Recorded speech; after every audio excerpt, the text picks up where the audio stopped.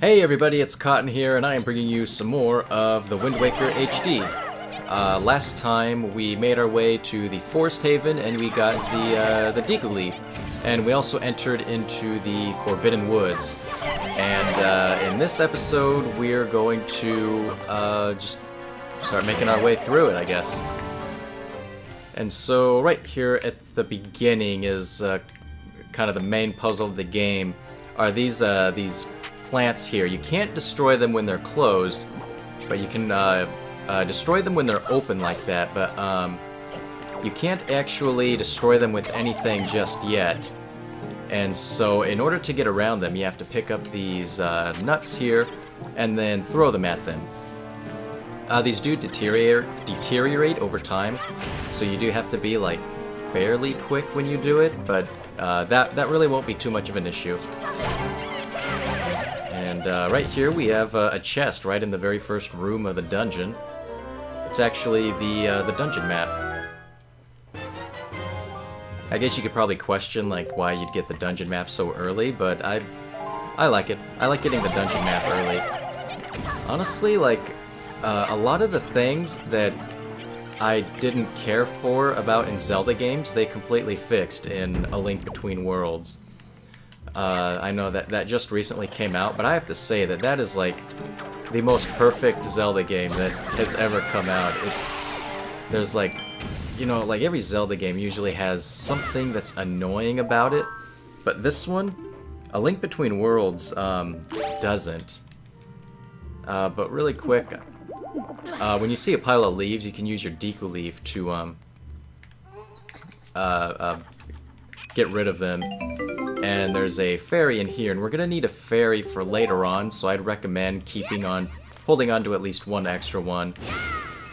And let's see, what can I put... I'll just, I'll just put that there, I guess. I don't want to accidentally, like, press the button and have a fairy, uh, like, like, accidentally waste one of my fairies. And, yeah, I, I do need to destroy this, one of these guys. Because uh, there's a tr treasure chest right there, and you have to destroy it with a, um, uh, a stick here. So you just throw it Oh, okay, so you actually do need it to be on uh, fire. That's interesting. Uh, I, I hate the green ChuChus because they always like go down like that and you can't hit them. And you just have to like wait on them. It's kind of annoying. But yeah, Link Between Worlds. Uh, honestly, like while I was playing through this game, I, I started thinking of all of these things that were um, annoying and how you know, I just think it doesn't have its place in a Zelda game anymore. And in A Link Between Worlds, like they fixed all of those things I had issues with. Uh, but once that stick is on fire, you can uh, destroy the plant. And you get a Knight's Crest. And these are actually fairly rare, so I, I guess it's pretty important to uh, collect those. You need... Oh shoot, I don't even know how many you need. Do you need 10? I, I can't remember how many you need. Where am I supposed to go? I think over here. I can't remember, but, um, you know, you just like the other spoils, just collect as many as you can so far. Uh, shoot, where am I going? I'll go over here. I hope I can make it. That was cutting it a little close, but wait, where did I... I came from over there, so I have to go this way. I'm getting turned around. Uh, so just like in Dragon Roost Cavern, uh, we're gonna have to come back to this room, because if you continue on over that way, there is a chest, but it also has um, uh, it has a plant on it, and so there's no way we can destroy it yet until we get the item that's in this dungeon. So we'll have to come back to uh, this area later on. But uh, just remember this room.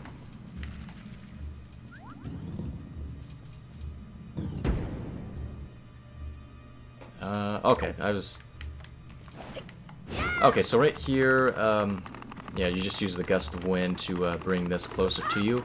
And then to go in the opposite direction, you just blow yourself away. Uh, some interesting use of physics in a Zelda game. I, I like it. I like it a lot. But yeah, I wanted to say, like, it's probably not a good idea to um, uh, grind for uh, yellow feathers out at the beginning there, because uh, there's a lot of a lot of enemies that drop golden feathers, and so it's probably better to just make your way through the whole dungeon and then just like go back to certain areas and see if you can uh, get them that way. But this, I don't even need to worry about these guys. I just, this is the only one I need to worry about. I guess I should also say, like, if you hit these guys with the wind, they'll go up, and then you just only need to hit them once. Um, just so you know, and I need... Do I need that? I can't remember if I need that. I don't think I do. No, I don't need that. What am I thinking? Man. Okay, so up here we have another plant, but uh, nothing nearby, so we have to go over there and get that nut that's over there. No, no, I thought... Damn it. Okay, back up here again. Hopefully not embarrassing myself, but um, have to go across this again. What would you call this? I don't even know. What, what, what would you call this contraption? I don't know. Uh, but here's the nut we need. And so this uh, can... I guess it can be a little tricky because you don't want to blow that thing off. I never noticed that it had weight. I'd never noticed that before. It's actually like making this thing lean to one side. That's kind of cool. Uh, but just throw it at that, and then there you go. And next, what you want to do is actually drop down here. You do that, and then uh, you get a, a, little treasure chest here. It has 20 rupees. Not too important, but, uh, you know, rupees are always nice to get, I suppose. And so, uh, yeah, let's just head back up so that we can uh, go through the door here. And so, um, uh, we need to blow that out of the way because there's these uh, vine things that will completely surround it. And so we just need to get it out of there. Uh, this dungeon, it's still fairly straightforward. There's uh, quite a few levels to it, which might be a little bit daunting when you first play it, but it's it's actually not too bad. You'll, you know, like as you play through it, you'll realize that you don't actually end up getting stuck or, you know, you you know, try to figure out like where to go next. It's, you know, you kind of figure it out pretty nicely, so. Oh, can I make it? There we go. And then, uh, yeah, just make our way across here. And so as you see this, you'll probably realize what item you're getting in this dungeon, which is a boomerang. And you'll be using that boomerang to uh, bring this thing down. So, let's collect that. What is that? Uh, nine rupees. Then head over here. There we go. Uh, let's see. I guess... I guess I can go up there first. Uh, up here, there's... What you get... Oh, my dog's making noise again, so I'm sorry if you can hear that. Uh, she's snoring. Uh, but right there you blow the leaves off and you open up the, um... Uh, teleporter. I completely forgot, but I wanted to mention that, like, those remind me of the, uh, the cauldrons from uh, Banjo-Kazooie, and how that was kind of a similar thing.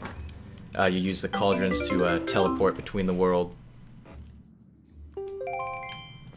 Now these things, these are Morths, and uh, they don't do any damage to you. All they do is they just cling on to you and slow you down. So you notice like the more that you get on you, the slower you go.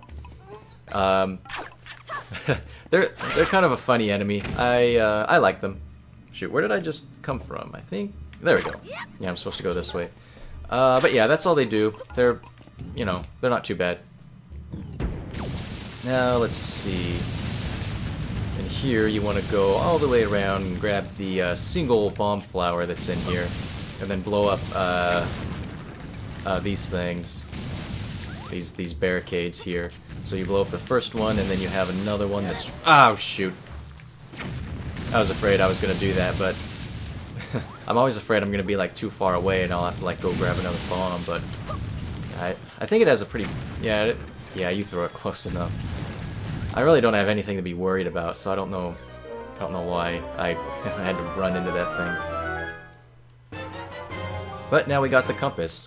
So we get the compass and the uh, the the map like really really quick in this dungeon, and I like that. I like that. Uh, yeah, kind of like how in you know Link Between Worlds, you know, it's like you always have the dungeon map, and like the only item you really care to get in a dungeon is the um, uh, the compass. I probably shouldn't talk too much about that, or, you know, I, I don't care. I, I'll kind of talk about whatever I want to. I think there's plenty of people that do Let's Plays and talk specifically about the gameplay, but, you know, I think if I'm gonna try to set myself apart, I don't know, I'll just talk about whatever I want to. Oh, geez, Sadie. Sadie! Um, yeah, that's my dog snoring there. Uh, she can get pretty loud when she snores sometimes, so if you can hear her, I'm, I'm sorry. Uh, I don't think there's too much I can do about it because she's a pretty heavy sleeper, so I don't think I'm going to be waking her up just by yelling at her. Uh, but let's see, we got our key, so the next place we need to go is through this door here. Did the rupees? They did not respawn. Nope.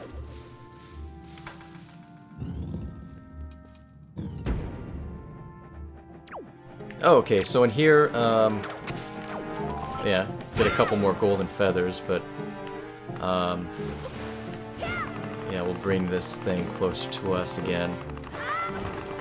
Stop! Stop! you have, like, yeah, you can't, like, exit out of that right away. It's interesting. I wonder if I bring out... Uh, I can't try it now, but... I'm just trying to see, like... I don't know, I'm just trying to be too fancy, I guess. Um, so you see these guys, these are Mothulas, I think? Uh, oh, shoot, they also drop golden feathers, which I should have tried to get from it. Um, but yeah, these guys drop golden feathers. Uh, so you can get some from them. But we've got more uh, Peahats here, and these guys drop golden feathers, and I'll grab it from him.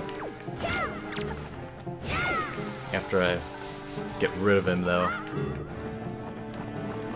So here, I'm just going to make my way up to the top. Uh, let's see, there's three more of these guys. And they're totally to hit me. see if I can hit, like... I hit two. I was to try to hit all three of them, but... Oh well. So, I'll go through this door.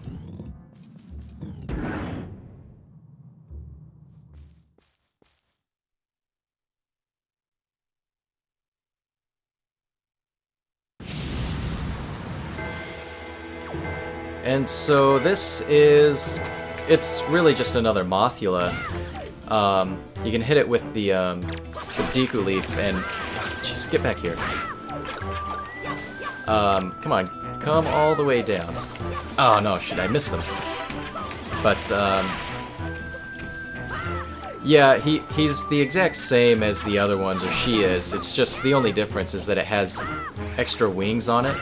And so, you know, it just has a little bit more health, but once you get rid of all the wings, it just turns into a regular one, so... Uh, it's not too bad. If I could just keep him still, that's the hard part, is trying to catch up to him, especially when he's getting those Morths out of him. It slows you down and you just can't keep up with him. But, uh, oh, okay, let's see what you drop. Some rupees. I am really high on rupees, and there is no possible way of increasing your rupee bag at the moment. So it's, yeah. Getting rid of the rupee limit is really nice. But we get our island uh, item from this dungeon, the boomerang. And so the boomerang is exactly the same as every other Zelda game. Except in this one, which was the very first time it did it, you can uh, lock on to multiple items at once. And, um, uh, yeah, it will attack uh, those those items each time. And so, let's see, up here... Oh, actually, when you uh, hit these guys with the boomerang, you can actually, like, kill them, like, right away. Oh, that kills them too. I was hoping I, I could get a, a golden feather, but this just directly kills them. Oh well. Uh, but let's see, you can go up to the top here. And uh, in order to get up here, what you have to do is you have to stop, and that guy is gonna do something Get out of here. Yeah, that's right. You keep moving. Okay, but, uh... Yeah, so I'm just gonna make my way all the way up to the top here. And now with the boomerang, uh, we don't need to rely on those nuts anymore. Uh, the boomerangs will destroy the plants that are on the doors. And if you see down there, like, that's actually how we get out of here. And so, up here we have a treasure chest. And it has a joy pendant. Yeah, that's a letdown. Um, man, I am running a little low on health. I don't like that. The nice thing about the Deku Leaf is you can drop like long distances and then just like pull it out at the last minute and save yourself from getting any damage. Uh, okay, but let's see. So, in here we need to uh, just get rid of these things so that uh, we can fly across or, or glide across, I guess. So we'll jump and then use the Deku Leaf, and uh, here we go. Another uh, treasure chest right here in the open. And it's another Joy Pendant. so like I said, you didn't really need to grind for Joy Pendants if you didn't want to. You can just try to progress normally. But like I said, for the sake of this Let's Play, I'm, uh, you know, I just grinded for them to get them out of the way. Kind of makes it easier for me to keep track of everything. And uh, this actually opened up a completely new place for us, so we can uh, drop down here. And I think this will actually be a good spot to end off this video. So next time we will uh, continue on in the Forbidden Woods. I'll see you then.